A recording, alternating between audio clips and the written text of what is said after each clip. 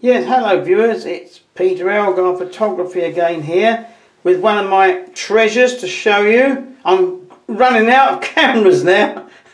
I've got so many I've shown you, but here is a 1950s Brownie 620 camera model D with flash contacts made in England by Kodak Limited. I think the factory that made it was Wimbledon. Now I was given this by a gentleman and he sent it to me in the post with some other stuff including the Minox I've shown you. The Brownie Model D is um, one which takes 620 and it takes 8 on a fry, 8 on a film. And here is the side view and here is a viewfinder and the um, view goes into here from the subject and you look into there and if you cup your hand round like that stop stray light you can see the image reflected in there. And if you want vertical ones you look into here. Take vertical pictures. And the light from the subject goes into this little window here and comes out there like a single lens reflex carrying handle. There's a um, flash contacts here but I've never used them because I haven't got a flash gun which fits. This is the infamous shutter release and we put it onto instantaneous here. There. Every time you press it, it goes. So you must remember to wind it on, otherwise you get double exposures. If you want time exposure, you pull this little lever here to B, you hold it down, and one a second, two a second, three a second, and let it up again. That is a time exposure device.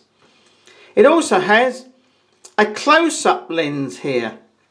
Now this close-up lens is not very close really. I found by experiment the closest it only works at is about five feet People make the mistake of taking babies with these box cameras and they get dreadful out of focus pictures because they don't realise that the lens is a very simple meniscus lens and it won't focus too close.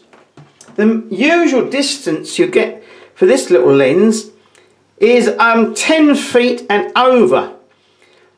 When you pull out the so-called close-up lens. It pulls another lens in at the back of the um, ordinary one and you get it to about five feet. But you can't come any closer than that and unless you hold over the front a stronger lens, which I've done.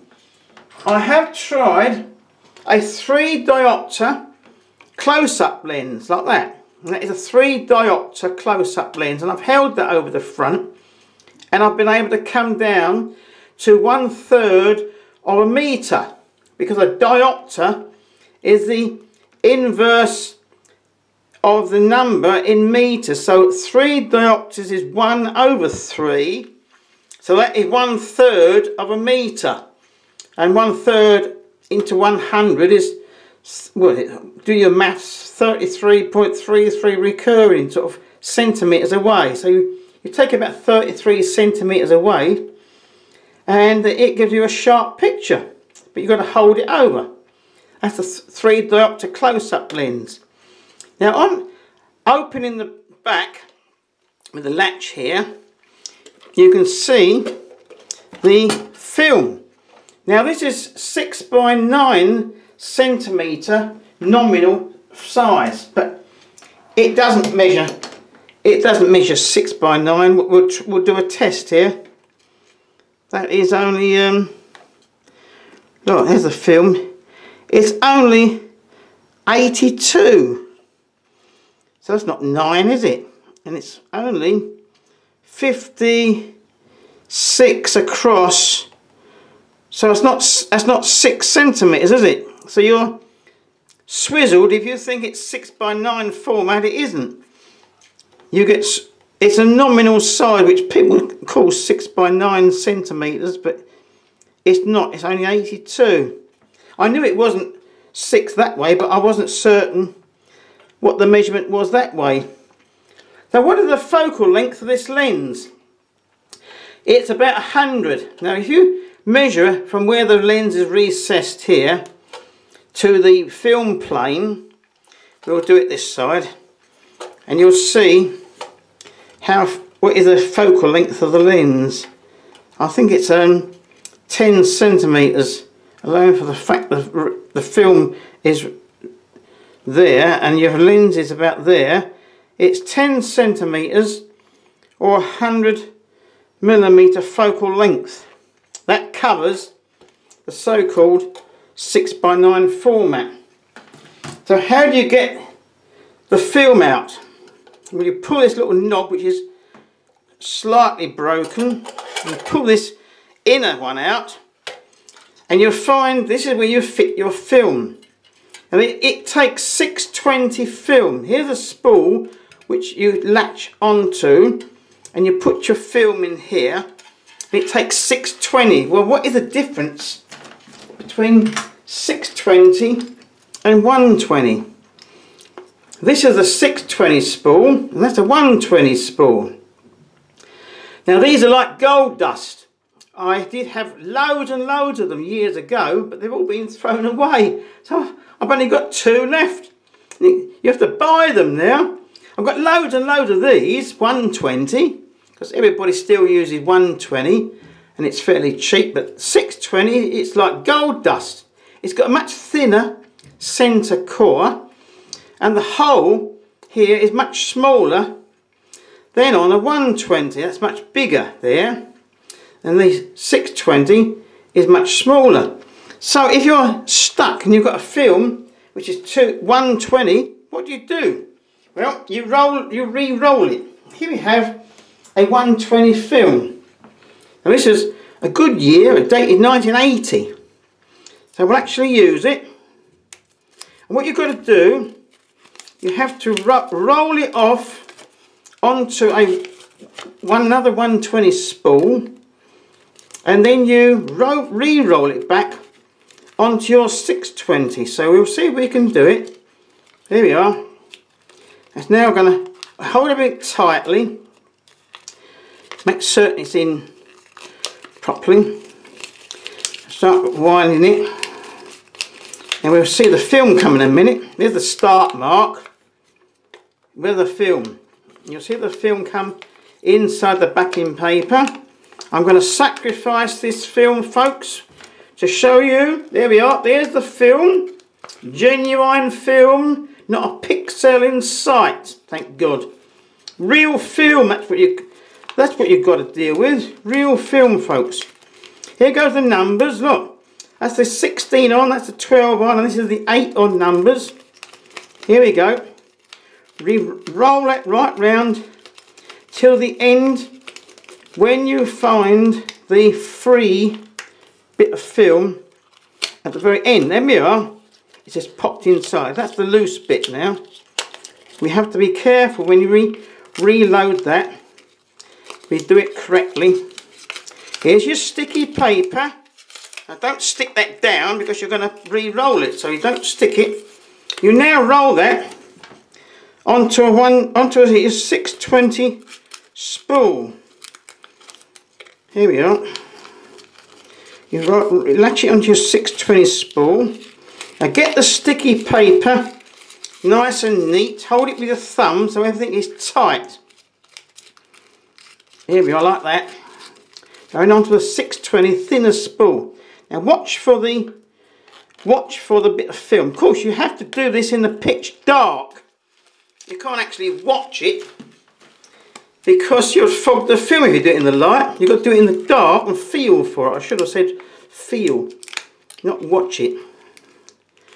Make certain you feel and get that underneath there nice and neat without any crinkles. So I'm doing it standing up. It's easier sitting down. Then roll that back onto your 620 spool. It's going now, hopefully. Some you make got to take up any slack by holding the backing paper and then you will find hopefully at the if it's nice and tightly rolled yes um, you will find it was rewound onto a 620 it's slipping a bit look. It's slipping a little bit. There we are that is onto the 620 spool. Now you can insert this into your camera and it loads similar to the Hasselblad. It goes over the back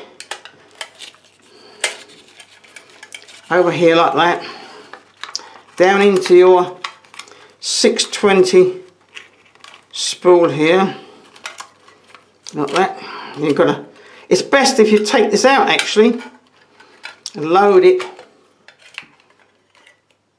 Make sure just make it a bit tighter like that. There we are.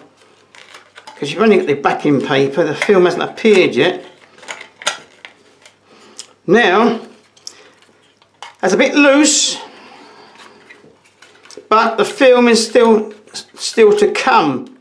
Now you stick that in the back of your camera. Make certain you can see where you've got a latch on here into the little winder mechanism here so it goes in um, this way don't see now it goes in now there we are, that's the way it goes in. I, I forgot which way it goes in.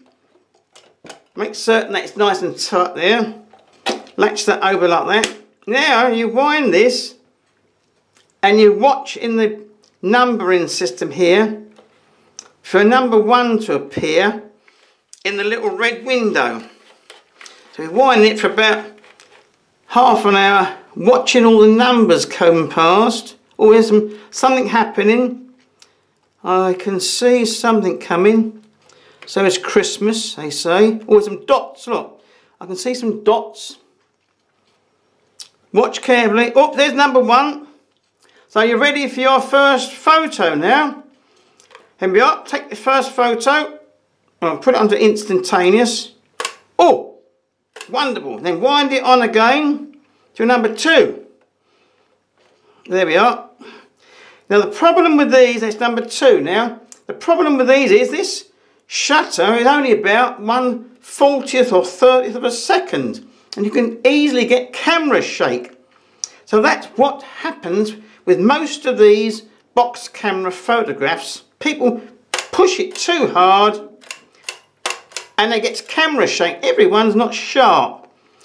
Well, I've found that if you take off the front, now see if I can do it, without banging everything, I found I could take off the front um, and we can stick other things onto it to get a faster speed and a smaller aperture. Now, I did, this all comes off. Here we are. It's all the workings of it. There we are. Here's your lens, that's your meniscus lens. It's only got one element. Now if you want, you, you can stick a little circular bit of black paper in there and you can get a smaller aperture. This is all your reflex viewing. You can clean that now you've pulled it off. Clean that with the lens tissues, all your reflex viewing. And these are the workings of the shutter. There we are. Yes, nothing like the focal plane shutter. Now you put it onto beef, a brief time. There we are. There's your hole where the light goes through. So what can you do? You can stick over that little um, moving shutter thing another piece of black paper and you, you can get a faster shutter speed if you like. I, I didn't do that but I did stick a small piece of black paper over that lens here and I've got a smaller lens aperture so it stopped it down because that aperture is only about f14 I think about 40th of a second f14 and so you can get sharper pictures by sticking a making a smaller lens aperture now I've done some nice shots with this no use showing you the camera without any results. So here, I now show you some results from this wonderful box camera. Now this is a picture that I took with this 3 diopter close-up lens. And it's our little piggy, it belongs to my wife. And then we got ice cream in the high street. Now that is with my close-up lens pulled out and I found it's sharp at about five or six feet away. It's not, you can't get any closer than that. Here's one of a young pianist. Now this is with flash. So you can say, how did I take the picture if it's not flash which, which I can plug in? Well, I use the open flash method. I open the shutter on B and I fired the flash manually and then I close the shutter again with the camera on a tripod and they are prints which I've done off of my digital digitalized 6x9 nominal negatives. This was on Kodak Vericolor film, very very old, which I processed myself. So there we are, that's the workings of the famous Kodak 620 Model D box camera and I hope you've enjoyed it and look at some of my other videos and hopefully you'll subscribe to my channel. Thanks for watching folks.